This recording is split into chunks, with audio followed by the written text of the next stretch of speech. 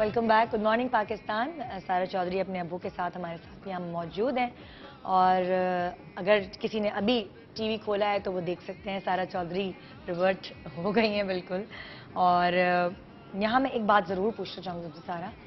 जब भी आप कोई अच्छा काम कर रहे होते हैं तो दुनिया के लोग आपको इस तरह बावर कराते हैं कि आप अच्छा काम नहीं कर रहे नुकसान में रहेंगे। बहुत सारे लोग आपको छोड़ के चले जाते हैं बहुत सारे लोग आपके खिलाफ होते हैं। बिल्कुल। मुश्किलात का सामना आपको करना पड़ता है। जब भी किसी अच्छी चीज़ की तरफ़ आप जा रहे होते तो मंजिलों में, रस्तों में जो सही रास्ता है, वो वाला लंबा रास्ता जो है, उसमें बहुत सारी मुश्किल का सामना करना पड़ता है। आपको क्या क्या करना पड़ा? मुश्किल ज़्यादा उस वक्त थी specially when I wanted to leave but still I was working क्योंकि हम्म। मेरा पेंडिंग काम था और of course it was also not a nice way to leave कि मैं hmm. किसी के लिए प्रॉब्लम क्रिएट करती क्योंकि hmm. वो भी बाद में ही ब्लेम आना था कि अच्छा आप दीनदार होगी लेकिन हमारे लिए आप तकलीफ़ करके जा रही हैं हाँ, तो सबका पैसा लगा होता है बजट तो इसलिए तो at that time when I was here तो इन द बिगिनिंग वो होता है ना आपको uh, बहुत एक वो अंदर से एक गुबार आता है एंड यू नो कि आपको जब राइट पता होता है तो हम्म। आप रॉन्ग को देख के फिर अंदर सो रहा होता है। हाँ। तो वो उस वक्त अक्सर मेरे मुँह से जब निकल जाता था और उस वक्त क्योंकि प्रॉपर नॉलेज नहीं थी लेकिन बेसिक बेसिक नॉलेज में पढ़ रही थी तो जब मैं उस पर कोई बात करती थी तो एक बहुत बड़ी डिबेट छिड़ जाती थी लोगों हाँ, के फिर। हाँ, तो वो उस वक्त प्रॉब्लम्स थी। फिर हाँ, उस वक्त फिर आ, सबसे ज़्यादा ये सुनने को मिलता था कि अच्छा आ, अगर तुम्हें बुरा लगता है तो पहले तुम छोड़ो फिर हम देखेंगे। हाँ, तो वो थोड़ा सा प्रॉब्लम था। फिर उसमें मैंने यही किया कि काफ़ी ऐसी लड़ाई हुई इस हवाले से? लड़ाई नहीं थी लेकिन एक वो बस बहस हो गई हाँ बहस थोड़ी सी बहुत शुरू हो जाती थी। कोई दोस्त छोड़ के गए? छोड़ के दोस्त तो जो छोड़ के जाते हैं वो दोस्त नहीं होते हैं। हम्म। तो नॉर्मल लोग तो दुख हुआ हो जिसके जाने से कि यार मतलब मेरे इतने अज़ीज़ दोस्त थे और ये छोड़ गए मुझे सिर्फ़ इस वजह से कि मैं सच मेरे ख्याल से छोड़ा किसी ने भी नहीं है। अल्हम्दुलिल्लाह सबके साथ ही इन टच हूँ। हाँ जिनके साथ वैसे ही मैं बहुत ज़्यादा इन टच नहीं थी तो उनसे बिल्कुल ख़त्म हो गया तो वो हम्म। अलग बात है। हम्म। लेकिन छोड़ा किसी ने नहीं है अल्हम्दुलिल्लाह। और दूसरी बात है कि जो प्रॉब्लम जिसे कहते हैं तो आ, मुझे एक चीज़ नहीं समझ आती है। आ, जब लोग अब मिलते हैं तो वो सबसे पहली चीज़ मतलब हम जिसे कहते हैं कि हम दीन के ना ठेकेदार बन गए हैं और अपने पास से हमने अपना खुद साख्ता एक दीन बना लिया है। अब जब लोग मिलते हैं तो वो ये बोलते हैं कि खैर इतना भी नहीं होता अब तुमने ज़्यादा ही कर लिया है। हम्म। और मेरे ख्याल से इंसान अच्छा हो किसी के लिए बुरा ना करे और बस झूठ ना बोले तो काफ़ी है।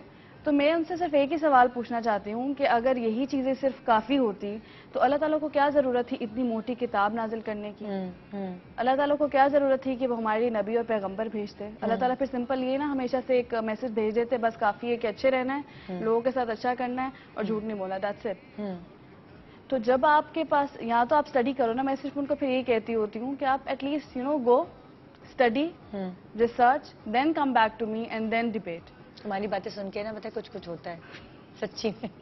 ये बस अल्लाह ताला की तरफ़ से क्योंकि मैं ये मेरा ये बिलीफ है कि पहले शायद हम लोग जो खुराफात बकरे होते हैं वो हमारी अपनी होती हैं। हम्म। लेकिन जब एक दफ़ा आप अल्लाह के उससे जुड़ जाते हो ना तो फिर आपके मुँह से जो भी बात होती है ना वो फिर अल्लाह ताला ही कहलवाता है। और फिर वही वाली बात है ना कोई एम ही नहीं बोलते वो। आप सोच समझ के किसी पर्पज के थ्रू बोल रहे हो। बेशक अलहमदिल्ला मैसेज क्या देना चाहोगी तुम अपने व्यूअर्स को अपने फैंस को?